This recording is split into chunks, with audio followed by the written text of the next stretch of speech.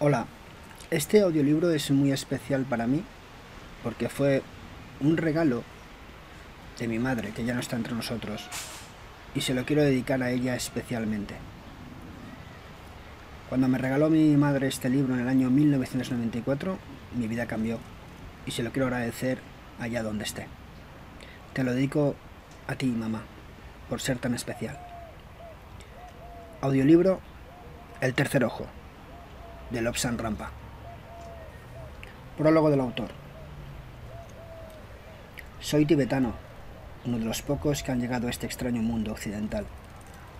La construcción y la gramática de este libro dejan mucho que desear, pero nunca me han enseñado el inglés de un modo sistemático. Para aprenderlo, no tuve más academia que un campo de prisioneros japonés, donde me sirvieron de maestras unas prisioneras británicas y norteamericanas pacientes mías. Aprendí a escribir en inglés por el procedimiento de probar y equivocarme. Ahora está invadido mi querido país, como se había predicho, por las hordas comunistas. Solo por esta razón he disfrazado mi verdadero nombre y el de mis amigos. Por haber hecho yo tanto contra el comunismo, sé que mis amigos residentes en países comunistas sufrirían si se descubriese mi identidad. Como quiera que he estado en manos comunistas y en poder de los japoneses, sé por experiencia personal lo que puede lograrse mediante la tortura, pero este libro no lo he escrito sobre la tortura, sino sobre un país amante de la paz que ha sido muy mal interpretado del que durante mucho tiempo se ha tenido una idea falsa. Me aseguran que algunas de mis afirmaciones es muy posible que no sean creídas, están ustedes en su pleno derecho de creer y no creer, pero no olviden que el Tíbet es un país desconocido para el resto del mundo. Del hombre que escribió, refiriéndose a otro país, que la gente navegaba por el mar en tortugas, se rió todo el mundo. Y lo mismo le sucedió al que afirmó haber visto unos peces que eran fósiles vivos. Sin embargo, es innegable que estos últimos han sido descubiertos recientemente y que llevaron a los Estados Unidos un ejemplar para ser estudiado allí. Nadie creyó a los hombres, pero llegó el momento en que se demostró que habían dicho la verdad. Esto me ocurriría a mí. Lobsan Rampa, escrito en el año del Cordero de la Madera. Capítulo primero. Primeros años en casa. Oe, con cuatro años ya no es capaz de sostenerse sobre un caballo. Nunca serás un hombre. ¿Qué dirá tu noble padre? Con estas palabras el viejo Tsu atizó al pony y al desdichado jinete, un buen trancazo en las ancas y escupió en el polvo. Los dorados tejados y cúpulas del pótala relucían deslumbrantes con el sol. Más cerca, las aguas azules del lago del templo de la serpiente se rizaban al paso de las aves acuáticas. A lo lejos, en el camino de piedra, sonaban los gritos de los que daban prisa los pesados y lentos jacks que salían del asha. Y también sonaban por allí los boom, boom, boom de las trompetas, de un bajo profundo, con las que ensañaban los monjes músicos en las afueras, apartados de los curiosos. Pero yo no podía prestar atención a estos detalles de la vida cotidiana. Todo mi cuidado era poco para poder mantenerme en equilibrio sobre mi rebelde caballito. Nakim pensaba en otras cosas. Por lo pronto, en librarse de su jinete y poder así pastar, correr y patalear a sus anchas por los prados. El viejo Tsu era un ayo duro e inabordable. Toda su vida había sido inflexible y áspero, y ahora, como custodio y maestro de equitación de un chico de cuatro años, perdía muchas veces la paciencia. Tanto él como otros hombres de Cam habían sido elegidos por su estatura y fuerza. Medía sus buenos dos metros y era muy ancho. Las abultadas sombreras le acentuaban esa anchura. En el Tíbet oriental hay una región en la que los hombres son de enorme estatura y corpulencia. Muchos de ellos sobrepasaban los dos metros en diez y hasta quince centímetros. Y estos eran elegidos para actuar de monjes policías en los monasterios. Se ponían aquellas sombreras abultadas para hacer aún más imponente su aspecto se ennegrecían en el rostro para resultar más feroces y llevaban largos garrotes que no vacilaban en utilizar en cuanto algún malhechor se les ponía a mano. Chu había sido monje policía y se veía reducido a la condición de nurse de un pequeño príncipe. Inválido, ya para andar demasiado, tenía que montar a caballo cada vez que se desplazaba un poco lejos. En 1904, los ingleses, bajo el mando del coronel Young Husband, invadieron el Tíbet y causaron grandes daños. Por lo visto pensaban que la manera más adecuada de agranjearse nuestra amistad era bombardeando nuestras casas y matando a nuestra gente.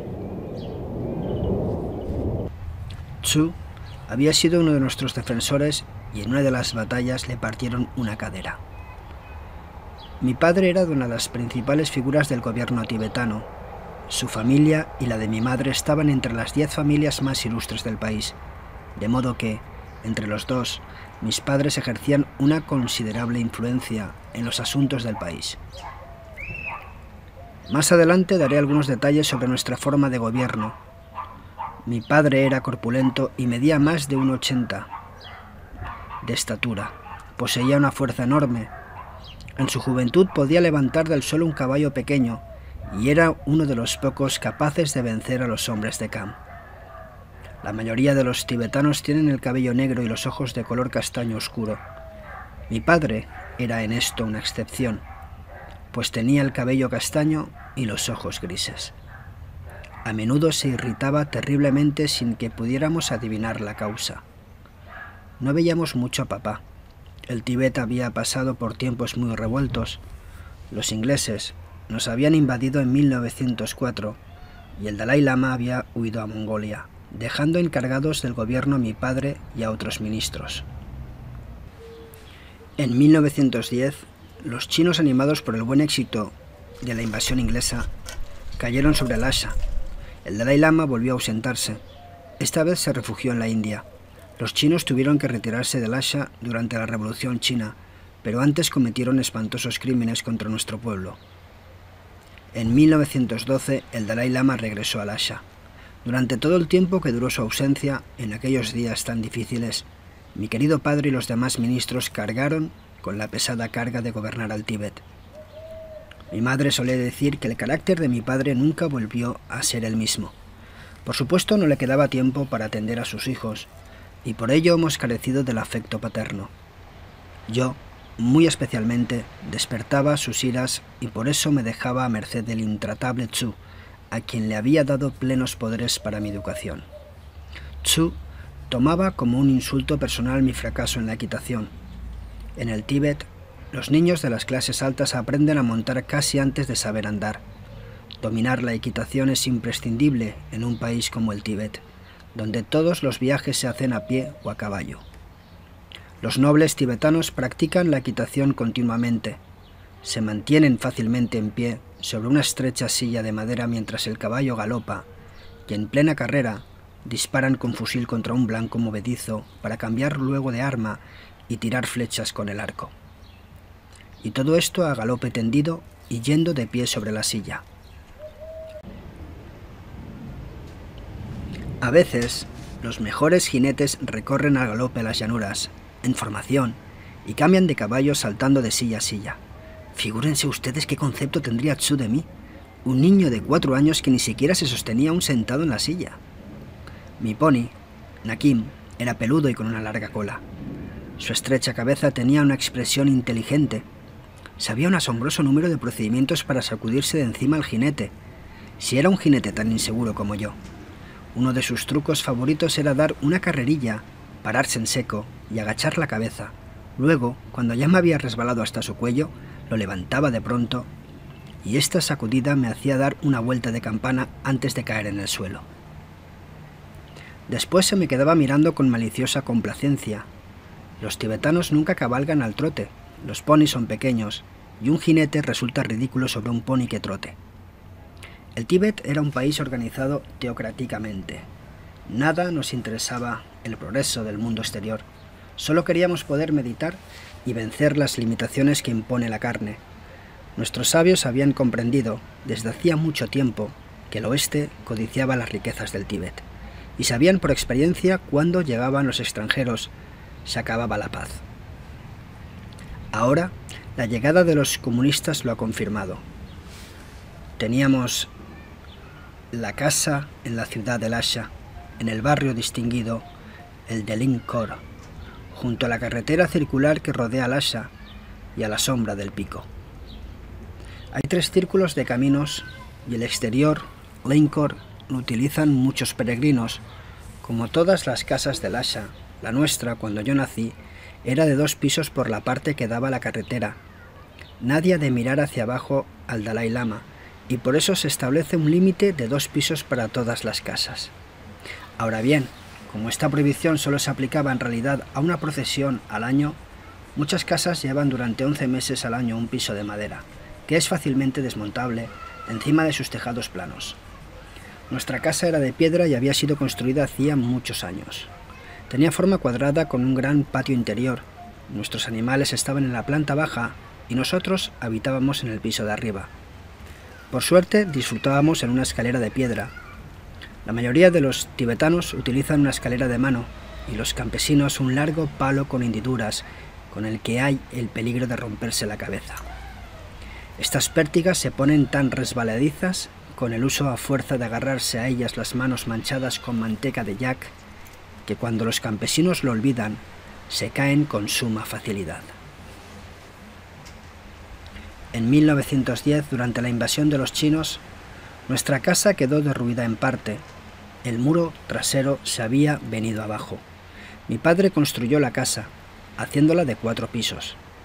No dominaba el anillo, de modo que no podíamos mirar hacia abajo a la cabeza del Dalai Lama cuando pasaba en la procesión anual, de manera que no hubo quejas.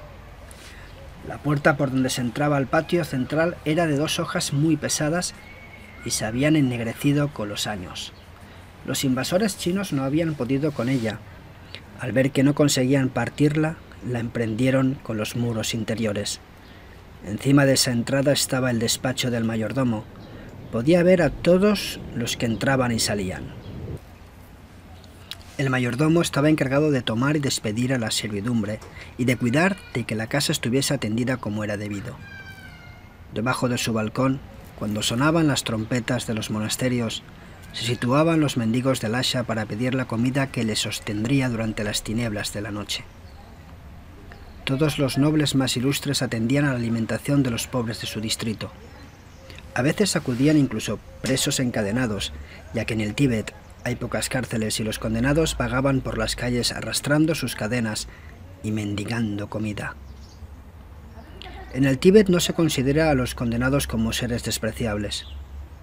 Comprendemos que la mayoría de nosotros podríamos ser condenados si se nos descubrieran nuestros delitos, así que tratamos razonablemente a los que han sido menos afortunados. En dos habitaciones situadas a la derecha de la del mayordomo vivían dos monjes. Estos eran nuestros monjes domésticos, que rezaban diariamente para que la divinidad aprobase nuestras actividades. Los nobles de menos importancia Disponían de un solo monje, pero nuestra posición requería dos. Antes de cualquier acontecimiento notable, estos sacerdotes eran consultados y se les pedía que impetrasen al favor de los dioses con sus plegarias. Cada tres años regresaban los monjes a sus lamaserías y eran sustituidos por otros. En cada ala de nuestra casa había una capilla. Las lámparas, alimentadas con manteca, ardían sin cesar ante el altar de madera labrada. Los siete cuencos de agua sagrada eran limpiados y vueltos a llenar varias veces al día. Tenían que estar limpios, pues pudiera apetecérseles a los dioses ir a beber en ellos. Los sacerdotes estaban bien alimentados, ya que comían lo mismo que la familia, para poder rezar mejor y decirles a los dioses que nuestra comida era buena. A la izquierda del mayordomo vivía el jurisconsulto, cuya tarea consistía en cuidar de que la vida de la casa marchase dentro de la ley. Los tibetanos se atienen estrictamente a las leyes en todas sus actividades y mi padre debía dar ejemplo como buen cumplidor de lo que estaba legislado. Nosotros, los niños, mi hermano Palijor, mi hermana Yasodara y yo habitábamos en la parte nueva de la casa, en el lado del cuadrado más distante de la carretera. A la izquierda teníamos una capilla y a la derecha la escuela, a la que también asistían los hijos de los criados. Nuestras lecciones eran largas y variadas. Palijor no vivió mucho tiempo con nosotros. Era débil y no estaba dotado para resistir la vida tan dura que ambos teníamos que llevar. Antes de cumplir los siete años nos abandonó y regresó a la tierra de muchos templos. Yaso tenía seis años cuando desapareció Palijor y yo cuatro. Aún recuerdo cuando fueron a buscarlo. Estaba allí, tendido como una vaina vacía, y los hombres de la muerte se lo llevaron para descuartizarlo y darlo a las aves de rapiña para que lo devorasen. Esta era la costumbre. Al convertirme en heredero de la familia, se intensificó mi entrenamiento. Ya he dicho que a los cuatro años no había conseguido aún ser un buen jinete. Mi padre era muy severo y exigente en todo. Como príncipe de la iglesia se esforzaba para lograr que su hijo fuese muy disciplinado y constituyera un ejemplo vivo de cómo debían ser educados los niños. En mi país, la educación infantil es más severa a medida que el niño es de mejor familia. Algunos nobles empezaban a pensar que los chicos debían de llevar una vida más agradable, pero mi padre era de la vieja escuela. Razonaba de este modo. Un niño pobre no puede esperar una compensación en su vida de adulto, así que hemos de rodearle de afecto y consideración durante su infancia. En cambio, los hijos de las familias pudientes disfrutarán de toda clase de comodidades, por su riqueza, cuando sean mayores de manera que han de pasar malos ratos y preocuparse por el bienestar de los demás mientras son niños. También era esta la actitud oficial. Sometidos a una educación tan dura, los débiles no sobrevivían, pero los que salían adelante se hallaban entrenados para resistirlo casi todo. Tzu ocupaba una habitación en la planta baja, muy cerca de la puerta principal. Durante muchos años había podido conocer a toda clase de personas mientras fue monje policía, y ahora no podía soportar encontrarse recluido, apartado del bullicio. Su habitación estaba junto a las cuadras, donde tenía mi padre sus veinte caballos, sus ponis y los animales de tiro.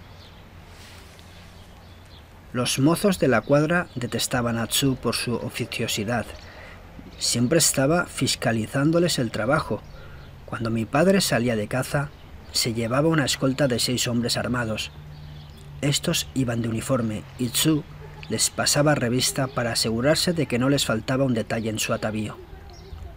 No sé por qué, pero estos seis hombres solían poner a sus caballos de grupas a la pared, y en cuanto aparecía mi padre, cabalgando ya, se lanzaban todos a la vez a su encuentro en una bravísima carga de caballería. Descubrí que asomándome por la ventana de un almacén podía tocar a uno de los jinetes. Un día se me ocurrió pasarle una cuerda por su grueso cinturón de cuero. Lo hice con extremada cautela y no se dio cuenta.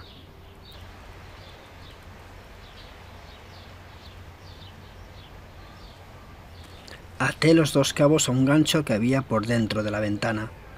Apareció mi padre y como de costumbre los jinetes se precipitaron a su encuentro. Solo cinco de ellos, el sexto quedó atado a la ventana. Gritaba que los demonios se habían apoderado de él. Se le soltó el cinturón y en la algarabía que se formó logré huir inadvertido. Luego me divertía extraordinariamente diciéndole, así que tampoco tú, Nektuk, sabes montar. De las 24 horas del día nos pasábamos 18 despiertos.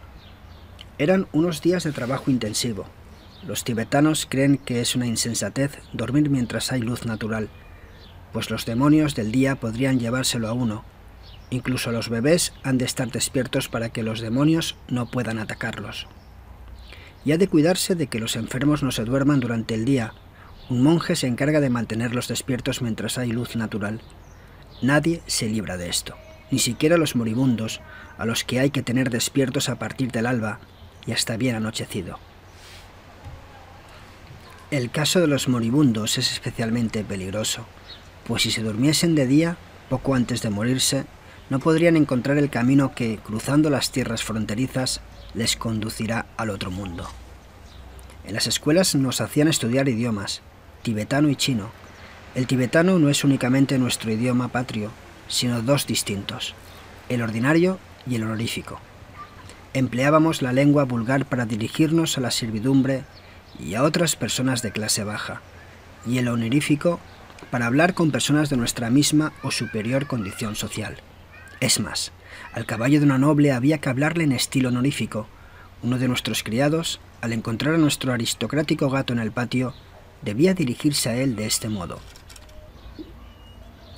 ¿Querría dignarse el honorable menino venir a beber esta indigna leche?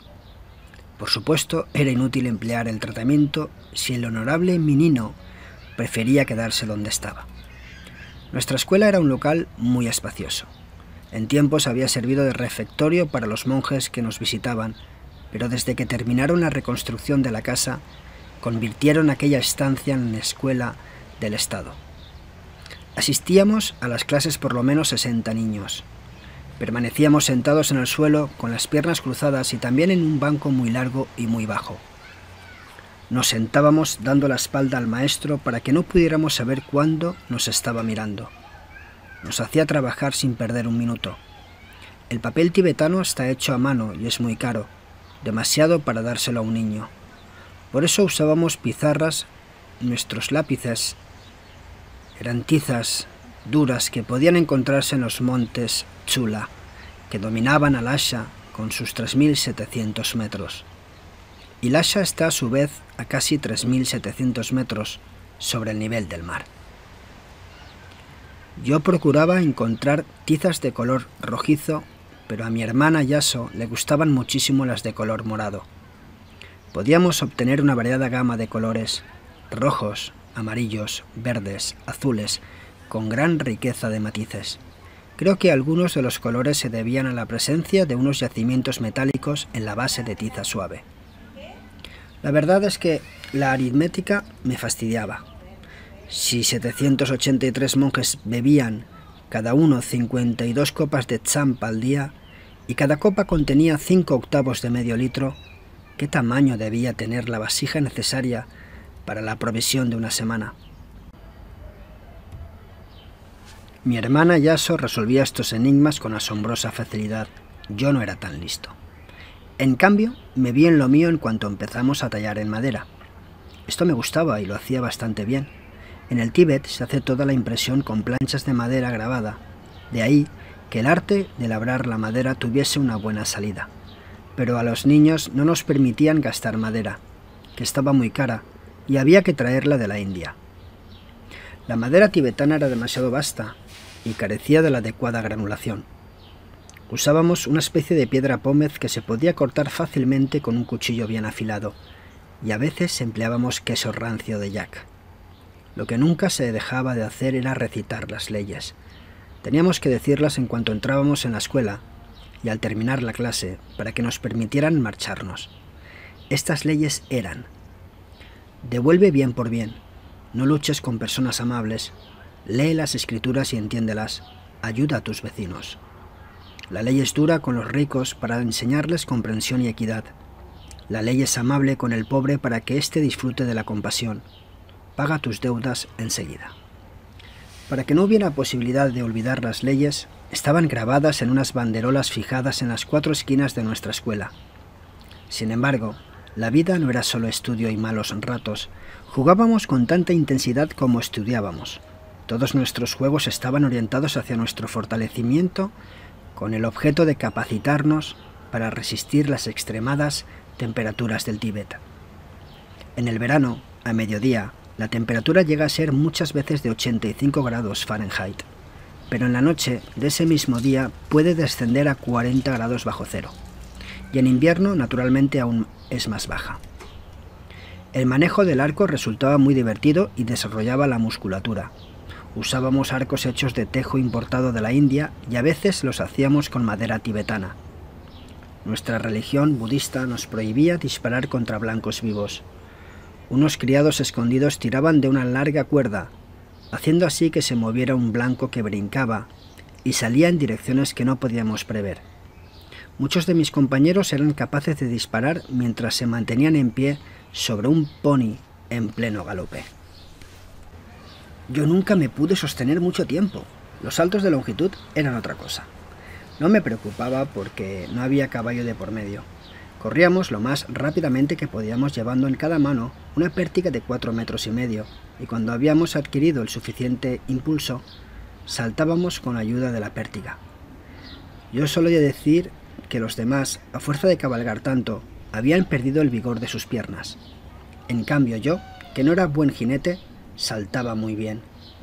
Era un buen sistema para cruzar ríos y me divertía mucho ver cómo mis compañeros caían al agua uno tras otro. Otra de nuestras diversiones era andar en zancos. Nos disfrazábamos de gigantes y a veces organizábamos luchas en zancos.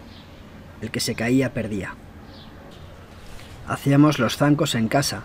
Empleábamos toda nuestra persuasión para convencer al encargado del almacén y lograr que nos diese la madera que necesitábamos.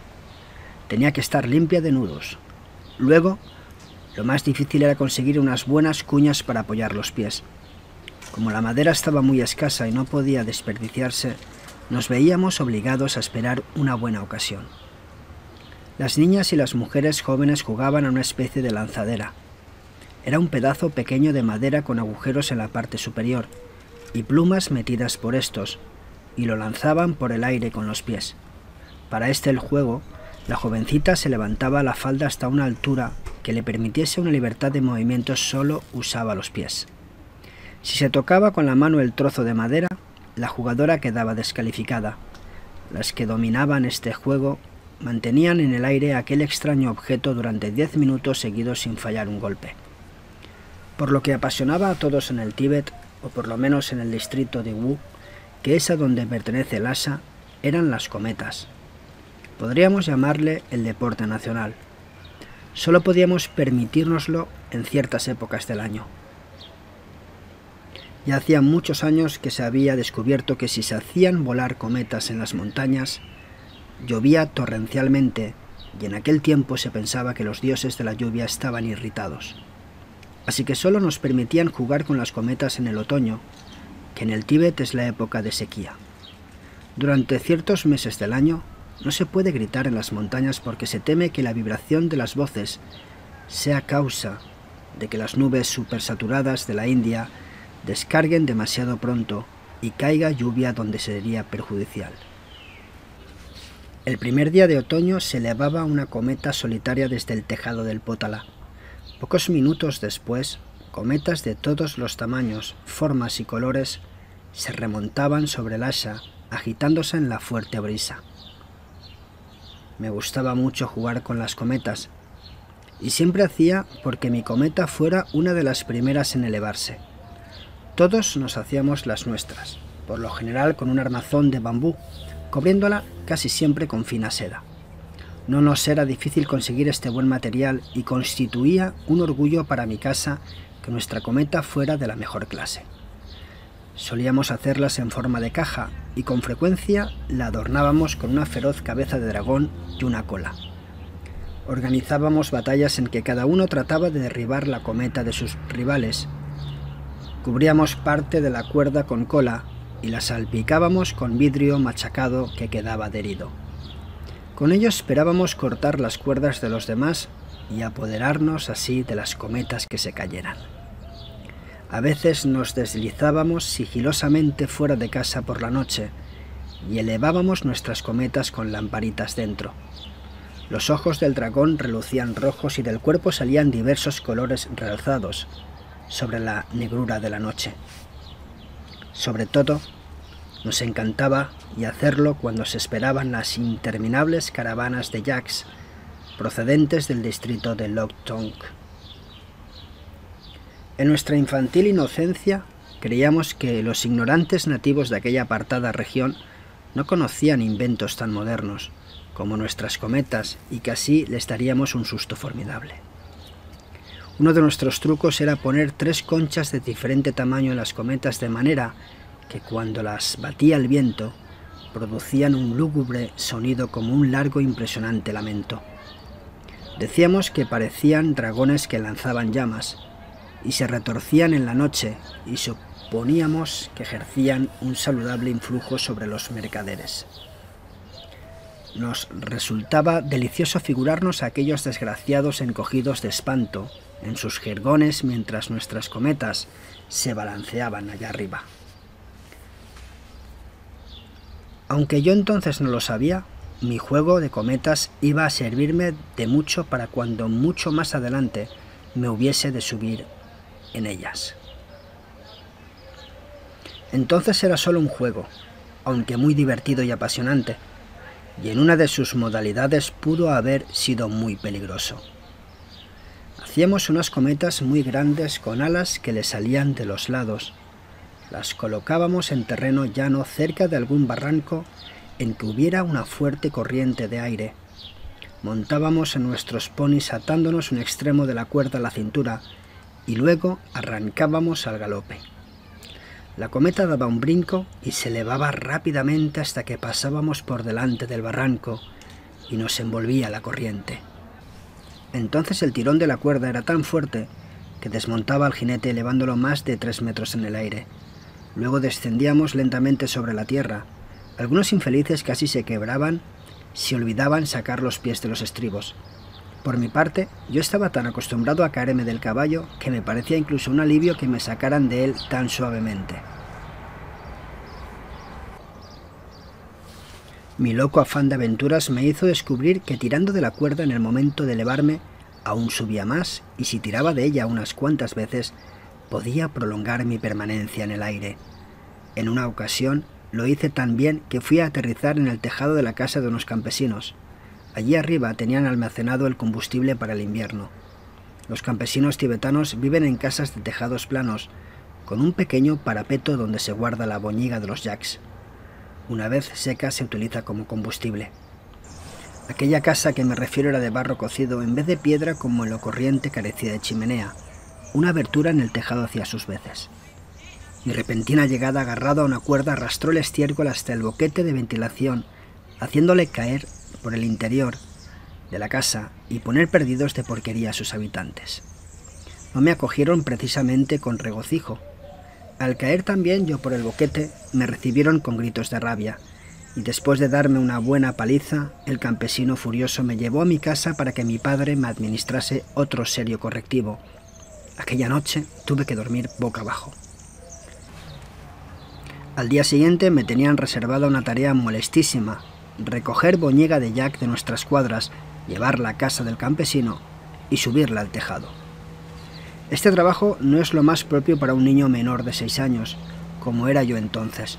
Sin embargo, a todos les producía un gran regocijo, todos estaban muy satisfechos, excepto yo. Los demás niños se reían de mí, el campesino acabó teniendo doble cantidad de combustible y mi padre se enorgullecía de haber demostrado ser un hombre justo y severo. En cuanto a mí, también hube de pasarme la segunda no. Quizás piensen ustedes que esta era una vida insoportable para una criatura, pero no hay que olvidar que en el Tíbet no hay sitio para los enclenques. Lhasa está situada a casi 3.700 metros de altitud y su temperatura es extremada. Otros distritos del Tíbet se hallan aún a mayor altitud y en condiciones mucho más duras, de manera que los débiles pueden poner en peligro a los demás. A esto se debía, y no era crueldad, aquella preparación férrea. En los lugares de mayor altitud la gente metía en corrientes heladas a los recién nacidos para ver si eran lo bastante resistentes. He visto con mucha frecuencia las pequeñas procesiones que se organizaban para ir al río, que a veces fluía a más de 4.000 metros de altitud. Al llegar a la orilla se detenía la comitiva y la abuela cogía al recién nacido. Junto a ella estaba la familia, el padre, la madre y los parientes más cercanos. Desnudaban al bebé, la abuela se arrodillaba y sumergía a la criatura dejándole fuera solo la cabeza, hasta la boca, para que respirase. Con aquel frío tan terrible, el niño se ponía rojo, luego azul y por fin dejaba de berrear. Parece que está muerto, pero la abuela tiene gran experiencia en esas cosas y al poco tiempo saca del agua al pequeño y vuelve a vestirlo después de sacarlo bien. Si el niño sobrevive a esa prueba, está clara la voluntad de los dioses. Si muere, es que los dioses han querido evitarle lo mucho que iba a haber sufrido en esta tierra. No cabe duda que esta costumbre era la mayor prueba de compasión y cariño que puedan dar los habitantes de regiones tan inhóspitas. Preferible es que mueran unos cuantos niños a que sean unos inválidos incurables en un país donde apenas hay servicio médico.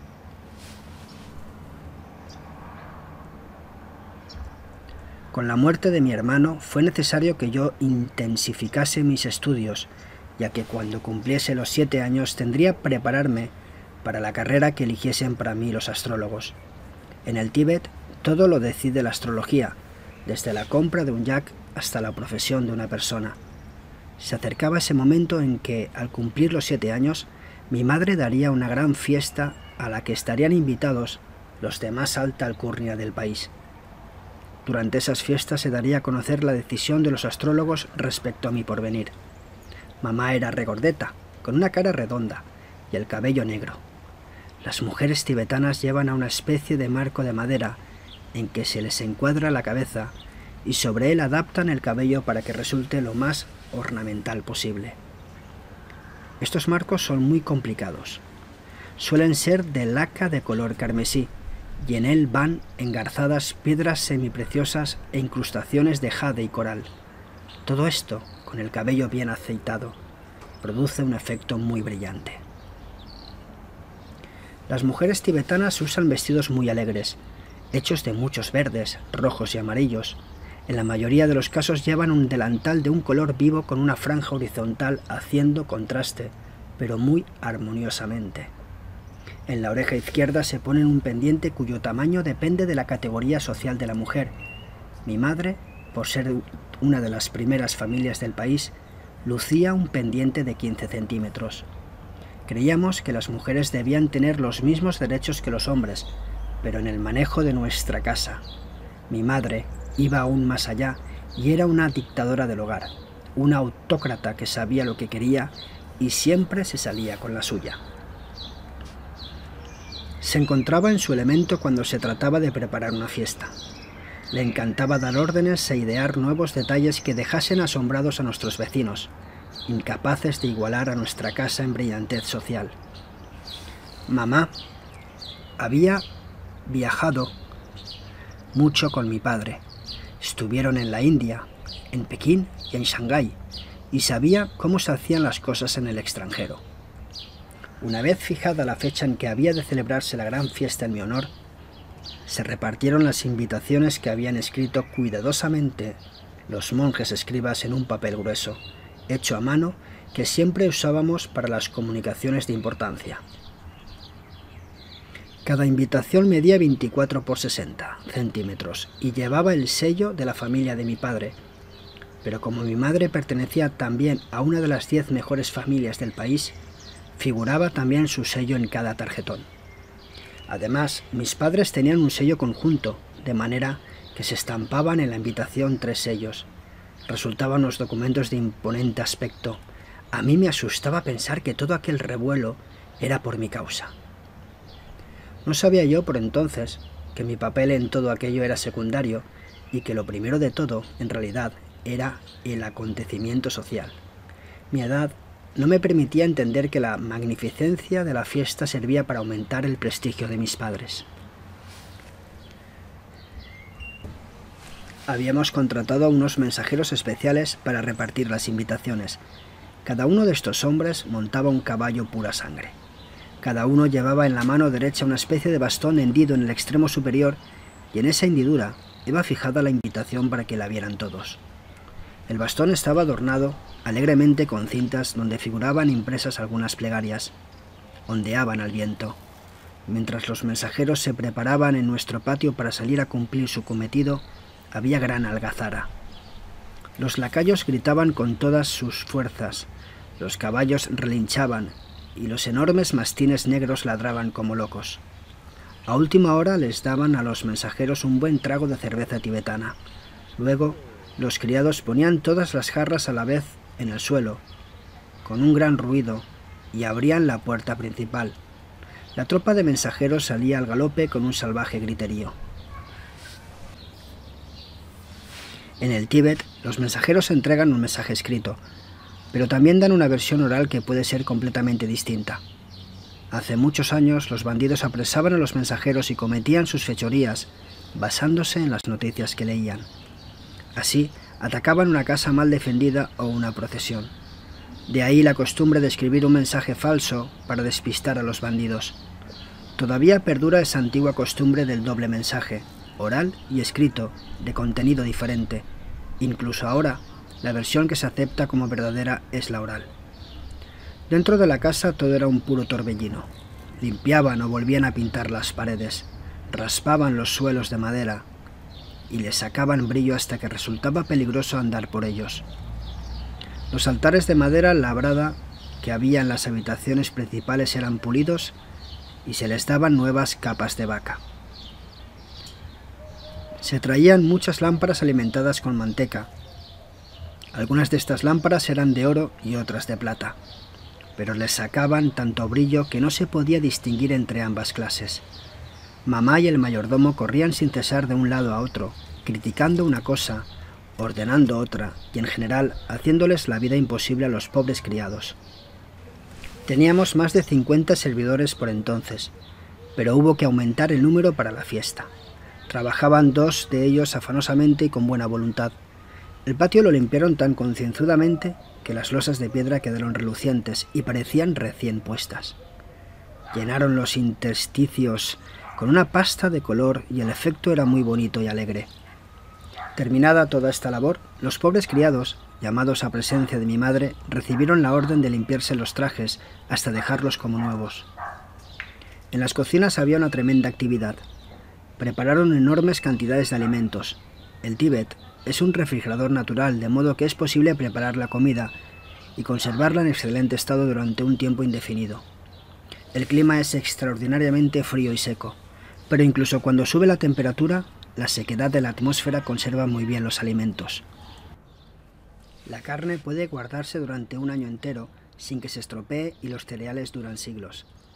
Los budistas no matan, así que la única carne disponible es de animales muertos de muerte natural, que se han caído por precipicios o a los que han matado accidentalmente. Nuestra despensa estaba bien provista de carne de tal procedencia. Hay carniceros en el Tíbet, pero son de una casta intocable y las familias más ortodoxas consideran como una deshonra tratar con ellos. Mi madre había decidido ofrecerles a los invitados las cosas más raras y costosas. Se propuso darles flores de rododendros en conserva. Con varias semanas de antelación, nuestros criados fueron a las estribaciones del Himalaya, donde se encuentran los mejores rododendros. En nuestro país, estos árboles crecen a enorme altura y dan una asombrosa variedad de tonos y aromas. Los capullos que no han florecido del todo son arrancados y lavados cuidadosamente. Este cuidado se debe a que la menor arañadura impide que se conserven. Luego sumergen cada flor en una mezcla de agua y miel en un gran jarro de cristal y lo cierran herméticamente.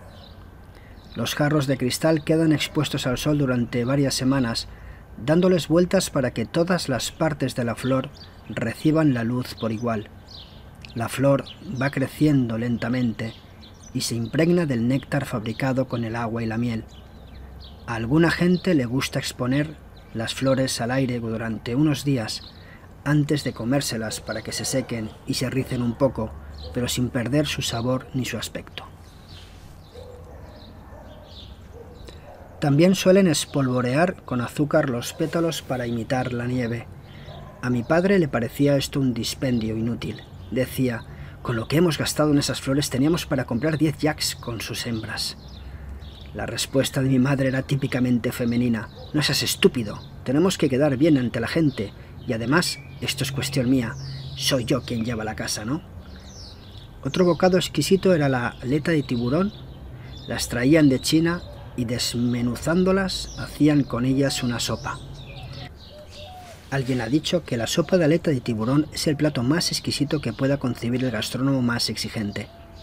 A mí me parecía horrible, sobre todo teniendo en cuenta que cuando llegaba de China estaba ya en malas condiciones. Para decirlo delicadamente, estaba un poco pasado, pero a mucha gente le gustaba más así. En el Tíbet, son los hombres quienes llevan la cocina, las mujeres no saben mover la champa ni hacer las mezclas adecuadas. Las mujeres toman un puñadito de esto, una cucharada de lo otro, y lo sazonan al buen tuntún con la esperanza de que les salga bien. En cambio, los cocineros son más conscientes, se toman un mayor trabajo y los platos les salen incomparablemente mejor. Las mujeres sirven para barrer, charlar y naturalmente para otras cosas, aunque no muy variadas. Pero no sirven para hacer champa. La champa es el alimento nacional del Tíbet. Muchos tibetanos se alimentan toda su vida exclusivamente con champa y té. Se hace con cebada que se tuesta hasta darle un tono dorado oscuro. Luego se tritura el grano para sacarle la harina y se vuelve a tostar. La harina se coloca entonces en una escudilla y se le añade té caliente con manteca. Se remueve esta mezcla hasta que adquiere la consistencia de una pasta. Se añade a gusto de cada cual sal, bórax y manteca de yak. De todo ello resulta la champa, que puede presentarse en tortas o como pasteles y dársele las formas más decorativas.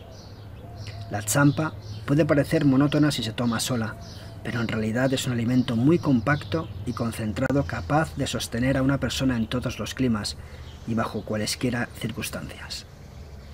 Mientras un grupo de nuestros criados hacía la champa, otros hacían la manteca. El sistema tibetano para fabricar la manteca no es muy recomendable desde el punto de vista de la higiene. Nuestras mantequerías eran grandes bolsas de piel de macho cabrío con los pelos hacia adentro. Se llenaban de leche de yak o de cabra y se les retorcía el cuello para atarlo luego con fuerza y lograr así que no se saliese ni una gota. Después se les daban grandes golpes y se les zarandeaba violentamente hasta que se formaba la manteca. Disponíamos de un suelo especial para hacerla, con salientes de piedra de unos 50 centímetros de altura. Las bolsas llenas de leche eran levantadas para dejarlas caer luego sobre esas protuberancias que servían para batir el líquido. Resultaba monótono ver y oír a unos diez criados levantando y dejando caer continuamente las bolsas hora tras hora. Al levantarlas tomaban aliento con un ah unánime, y luego sonaba el ruido sordo de la bolsa al caer. A veces estallaba alguna bolsa por estar ya demasiado vieja o porque la manejaban sin cuidado. Recuerdo a un tipo muy forzudo que presumía de sus músculos, trabajaba con doble rapidez que sus compañeros y se le hinchaban las venas con el esfuerzo. Uno le dijo, Te estás volviendo viejo, Timón, trabajas más despacio que antes. Timón lanzó un gruñido, cogió una bolsa por el cuello con sus potentes manos y la lanzó por el aire. Cuando aún tenía Timón las manos en el aire, cayó la bolsa de lleno sobre la protuberancia de piedra. Al instante brotó un chorro de manteca a medio hacer. El chorro fue a parar directamente a la cara de Timón y se le deslizó luego por el cuerpo empapándole de grasa. Mi madre, al oír el ruido, acudió presurosa. Es la primera vez que la he visto sin habla, quizá fuera de rabia por la manteca desperdiciada, o quizá porque se figurase que Timón se estaba asfixiando con la manteca que tragaba, pero lo cierto es que, rasgando el pellejo ya roto, azotó al pobre hombre con él. Le daba especialmente en la cabeza. Timón perdió el equilibrio en el suelo tan resbaladizo y se cayó cuán largo era en un charco de grasa. Los torpes como Timón podían estropear la manteca. Si no cuidaban de que el pellejo cayese bien sobre el saliente de piedra, los pelos del interior se soltaban y se mezclaban con la manteca. Todos estábamos acostumbrados a encontrar en ella unos cuantos pelos, pero a nadie le gustaba tener que quitar verdaderos mechones. La manteca estropeada se dejaba aparte para las lámparas o para darla a los mendigos, que la calentaban y la colaban a través de un pedazo de tela. También se reservaban a los mendigos los errores culinarios. Entonces estos afortunados iban a otra casa contando lo bien que habían comido. Estos vecinos respondían a su vez a estas alabanzas, dándoles de comer, si podían, mejor que lo habían hecho en la casa anterior, de manera que ser mendigo en el Tíbet es una gran suerte. Nunca pasan necesidad, si saben emplear los trucos de su oficio, lo pasan estupendamente. En verdad, la mendicidad no es considerada como una desgracia en la mayoría de los países orientales, Muchos monjes no comen sino lo que sacan de ir pidiendo de la masería en la masería.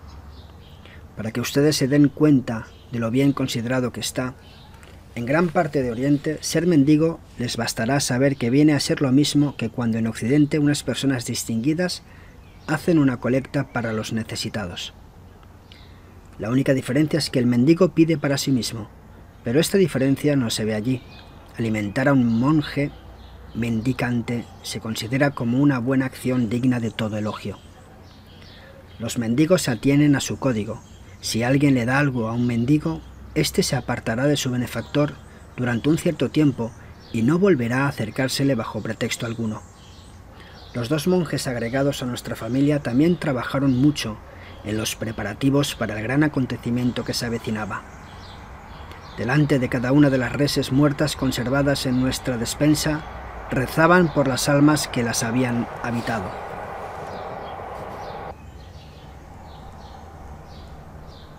Creíamos que si un animal era matado, incluso accidentalmente, y comido por seres humanos, estos se hallaban en deuda respecto a aquel animal. La única manera de pagar esta deuda era que un sacerdote rezase antes el cadáver del animal, con objeto de que éste reencarnase en una condición más elevada cuando volviese a vivir sobre la tierra. En las lamaserías y en los templos había monjes dedicados exclusivamente a rezar por animales. En casa, Nuestros monjes domésticos tenían que rezar por los caballos cada vez que emprendían un largo viaje, para que no se cansaran demasiado. Por eso cuidábamos mucho de no utilizar un mismo caballo más que un solo día. El que había corrido mucho un día determinado había de descansar al día siguiente, y lo mismo se aplicaba a los animales de labranza y de tiro. Lo más curioso es que los propios animales estaban enterados de esta norma. Si por alguna circunstancia se pretendía utilizar un día al caballo que ya había corrido el día anterior, se quedaba inmóvil y no había manera de obligarlo. Cuando por fin se le quitaba la silla, se alejaba moviendo la cabeza como si dijese, por fin se ha evitado una terrible injusticia. Los asnos eran aún peores, esperaban a que los cargasen y entonces se tumbaban y trataban de quitarse de encima los fardos. Teníamos tres gatos que estaban de servicio continuo. Uno de ellos vivía en las cuadras y ejercía una eficacísima vigilancia sobre los ratones. Casi ninguno se libraba de sus garras y se atrevía a dar un paseo. Otro gato vivía en la cocina.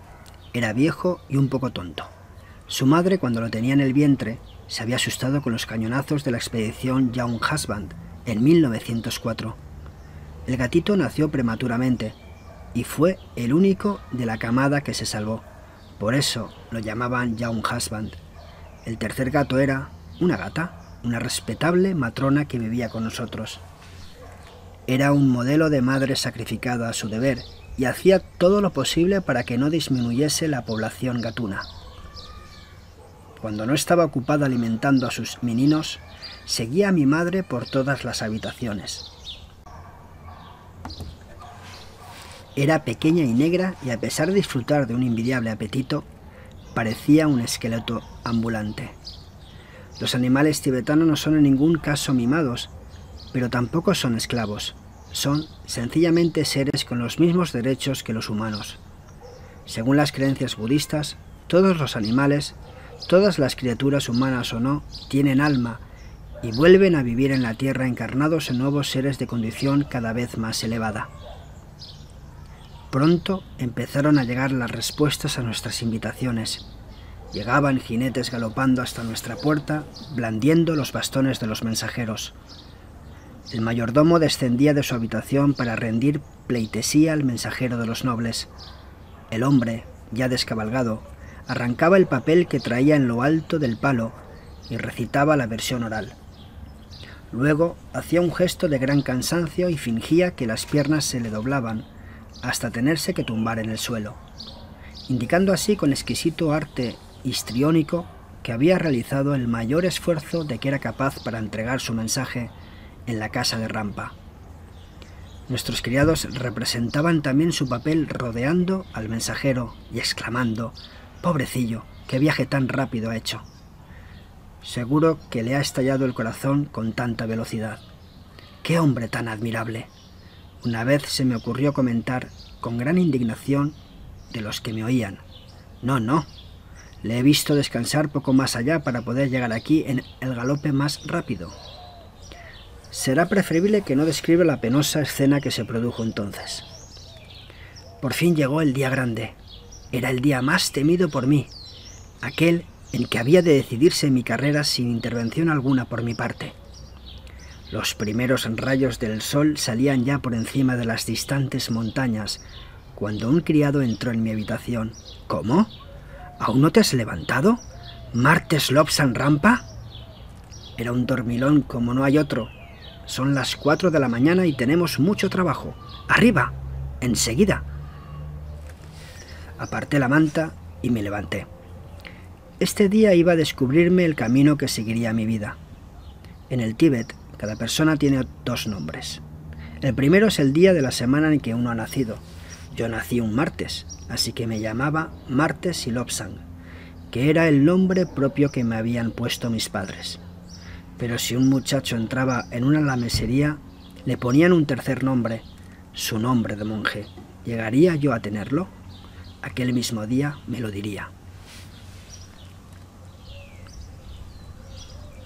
Yo, a los siete años, quería ser un barquero de los que navegan por el río Champo, a 65 kilómetros de distancia del Asha. Pero pensándolo mejor, llegué enseguida a la conclusión de que en realidad no me gustaba ser barquero, ya que estos son forzosamente de baja casta porque usan lanchas de cuero de yak con un armazón de madera. ¡Qué horror! Pertenecer a una casta baja. No, lo que yo quería era ser un profesional en el deporte de las cometas. Esto era mucho mejor. Así sería un hombre libre como el aire, un volador de cometas. Eso sería. Y me pasaría toda la vida construyendo cometas con enormes cabezas y ojos relucientes. Pero en fin, lo que fuese lo decidirían los monjes astrólogos. Quizás había dejado mi fuga para demasiado tarde, pues ya no me podía escapar por la ventana. Mi padre enviaría a sus hombres en mi busca, no. Después de todo, yo era un rampa y me veía obligado a seguir la tradición. A lo mejor los astrólogos decidían que fuese volador de cometas. No tendría que esperar mucho más para saberlo. Fin del capítulo 1. Siguiente capítulo, capítulo 2. Fin de mi infancia. Gracias.